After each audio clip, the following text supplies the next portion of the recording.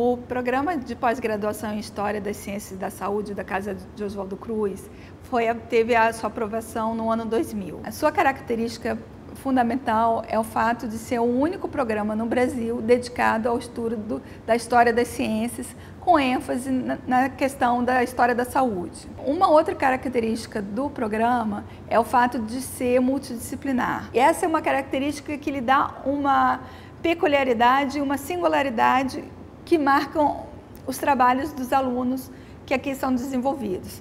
Um pouco pela característica da formação do corpo docente, pela multidisciplinar com antropólogos, sociólogos, cientistas políticos e médicos, como também pela instituição que, ela, que lhe abriga. Uma marca da, da Fiocruz é a sua grande internacionalização. E o PPGHCS também segue essa tradição da instituição. Os professores têm contatos com vários pesquisadores de outros países que vêm constantemente para cá. Não faltam são possibilidades para os alunos participarem e terem contato com professores e para os, doutores, os doutorandos a oportunidade de doutorado sanduíche nesses lugares onde temos convênio e e tenham a ver com o projeto desenvolvido pelos alunos. São três linhas de pesquisa e que dividem os trabalhos dos alunos.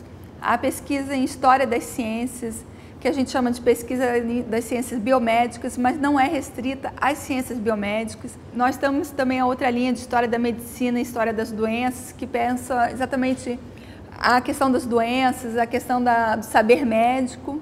E a terceira linha é de instituições e profissões de saúde, que vão pensar basicamente as próprias instituições, quer científicas, quer de saúde, venham conhecer o PPGHCS, venham conhecer as atividades que nós realizamos todos os semestres. Uma boa oportunidade é você se matricular como aluno especial nas nossas disciplinas eletivas onde você vai poder ter contato com a bibliografia e conhecer melhor o campo de História da Saúde e História das Ciências.